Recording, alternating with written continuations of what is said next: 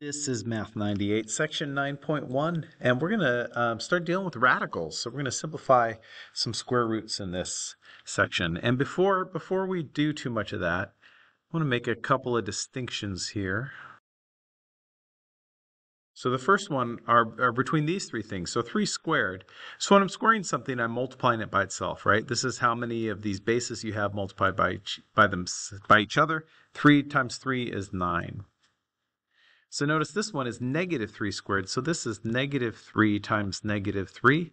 Um, a negative times a negative is positive, so this is also 9.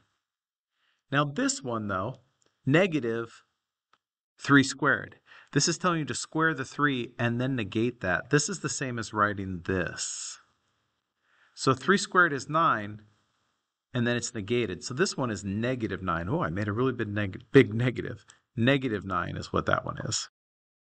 So there's a distinction. So thinking about that then, uh, I also want to think about the difference between um, this, this, and this. So square rooting um, feels like it kind of undoes uh, squaring. So square root of 25, what times itself is 25? 5. Notice we're just looking, we just get a positive answer here.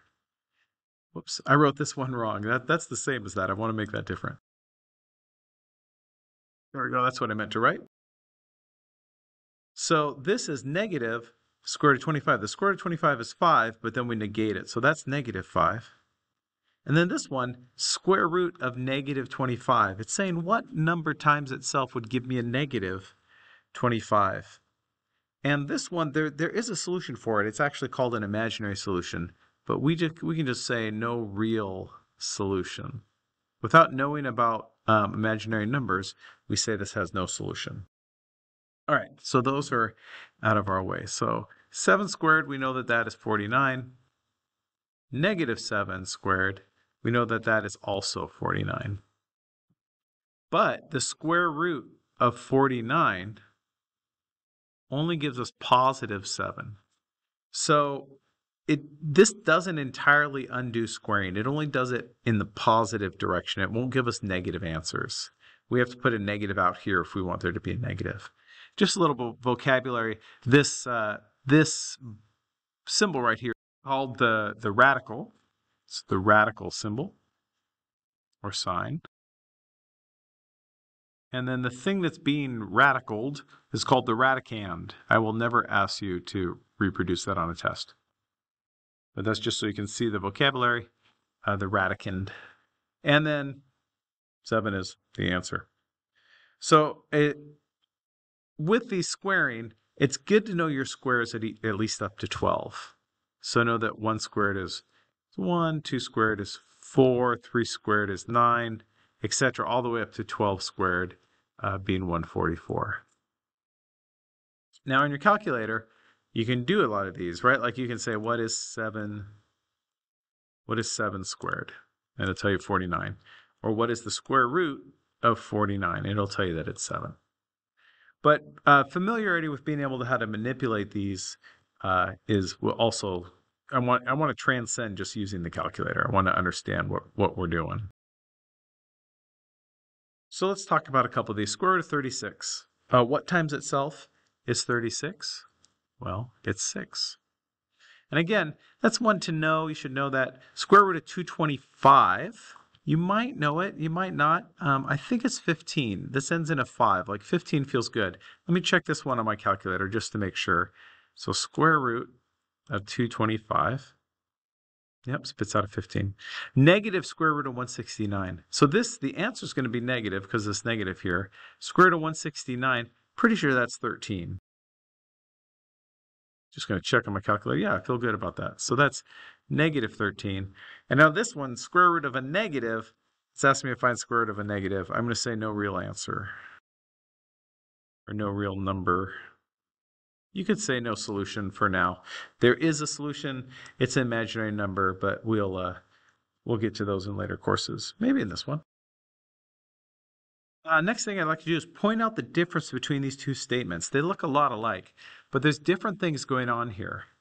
Uh, notice in this first one, it's square root of 9, plus square root of 16. So this is seeing square root these separately and then add those answers together. So this would be the same as uh, 3 plus 4, which is 7. And this bottom one, notice this is saying square root of 9 plus 16. So that's telling us to do that addition first, 9 plus 16, which is 25, and then take the square root of that, which is 5. You can see these are different things. This square root doesn't uh, distribute across the addition. Um, so these are very different things. Make sure you're keeping them uh, separate in your mind. Let's think about like square root of 6 or maybe the square root of 65. Now, it's nice to have an approximation of what these are equal to about, at least what two whole numbers they're between.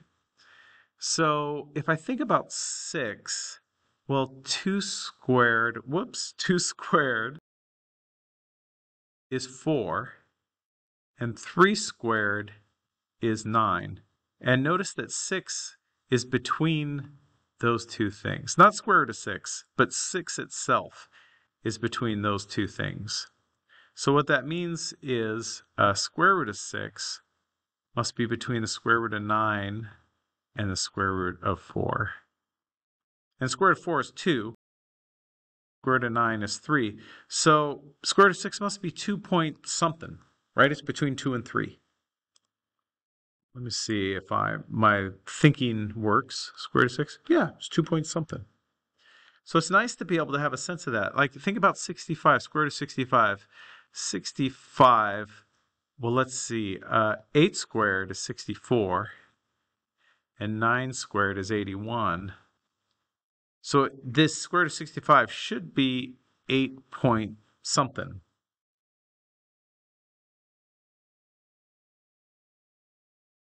Pretty close to 8, 8.06. Yeah. Good. So I can think about what two whole numbers the square roots are between. The square root of x squared. Well, it's x. How about the square root of x to the sixth power?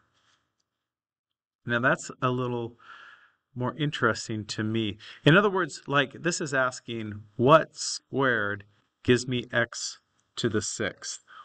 Well, I know that that multiplying with exponents, like if I have, um, I don't know, a to the fifth times a to the fifth, that's a to the tenth, right? Like if I'm multiplying ex, uh, multiplying with exponents, I'm adding the exponents together. There's five of them total. So if I think about this, I want something that'll give me six. It's got to be x cubed, right? x cubed times x cubed is x to the sixth. So the square root of x to the sixth is x cubed. Notice what I'm doing is I'm cutting the exponent in half when I'm taking it, uh, when I'm taking the square root of it. Great. So square root, say, of uh, a to the 50th must be a to the 25th, right? You're cutting it in half. So that helps us think about a couple other simplifications that we could do. Well, one of the nice things about square roots is when there's multiplication in there, we can break it up into two pieces. Or we could just think of this as like one thing, 25 x squared. Well, what's the square root of 25? It's 5. What's the square root of x squared? It's x. Right? In other words, if I say 5x squared, that will give me that 25x squared back. Let's think about this one the same way. Square root of 36 is 6. Square root of y to the 8th is y to the fourth. Square root of b to the 20th, b to the 10th. Just think pieces here. Square root of 81 is 9. Square root of m to the 12th is m to the 6th. Similarly here, square root of 100 is 10. Square root of x to the 4th is x squared. Square root of y to the 6th, again, we're just cutting them in half, y to the 3rd. So let me go back to something that I said earlier, because it's easy to get these um, a little confused. I said how like that is not equal to that. So I'm going to write this a little abstractly. I'm going to say uh, the square root of a plus the square root of b does not equal the square root of a plus b. But the square root of a times the square root of b does equal the square root of a times b. one way to think about this is um, addition, you know, it's kind of the simplest way we can combine things. And if you do repeated addition, you know, like 3 plus 3 plus 3 plus 3 plus 3, you could do that by multiplying, right? 1, 2, 3, 4, 5 of them multiply together. So this is multiplying. And if I do repeated multiplication, times 3 times 3 times 3 times 3, that is like exponents. So what's going on here is this is too big of a jump.